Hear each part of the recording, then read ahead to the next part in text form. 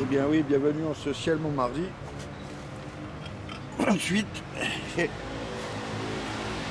6 En fait ça fait euh, ça. Bienvenue sur Téléternel du Conseil Galactique Temporel.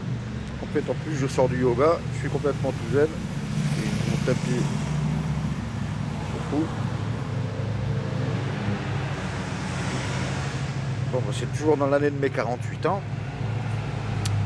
Mais ça fait 5 mois que je suis chef d'état d'âme. Vous le savez pas encore, mais ça va pas tarder. Et Conseil galactique temporel. Chef d'état d'âme. Tiens, je vais répondre à Eric. Chef d'état d'âme, Eric.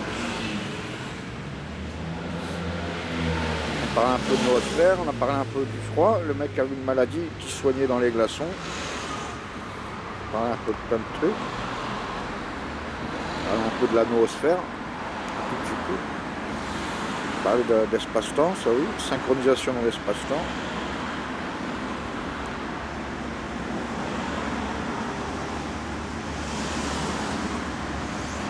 Puis cet après, il y a un truc sur la sophrologie. C'est Nadine qui anime. Tout ça pour dire que c'est un très beau ciel mon mardi. Et le mardi, c'est en si. Et, je vous dis bien si, ça s'accorde en si.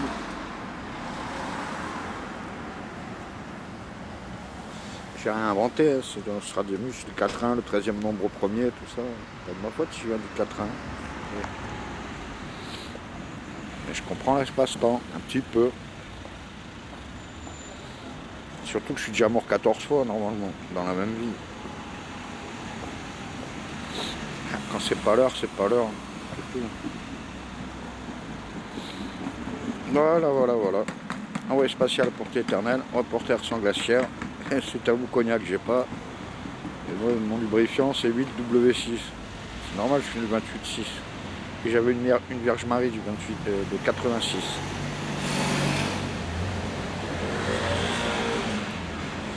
Les rois mages, ils n'avaient pas de GPS. Ça vous parle pas, mais moi ça me parle.